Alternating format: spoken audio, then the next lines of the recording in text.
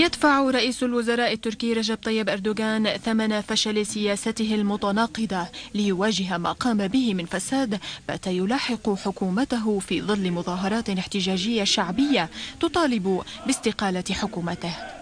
ليصل الفشل إلى انخفاض تاريخي ولأدنى مستوى في سعر الليرة التركية التي تراجعت لتبلغ 2.1 1467 مقابل الدولار الأمريكي الواحد مع ترافق في هبوط لمؤشرات البورصة حيث تراجع المؤشر الرئيسي لبورصة إسطنبول 3.77%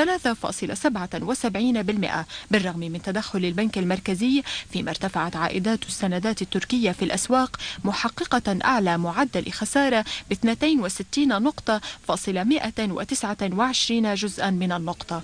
التعديل الوزاري الذي أجراه أردوغان على حكومته.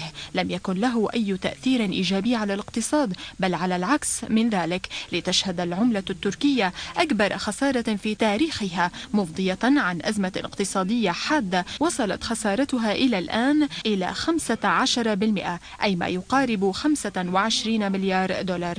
أزمة قد تنهي أسطورة النمو الأكبر الذي تحقق في ظل حزب العدالة والتنمية التي ترجم سياسة صفر مشاكل إلى صفر حلول داخليا وخارجيا.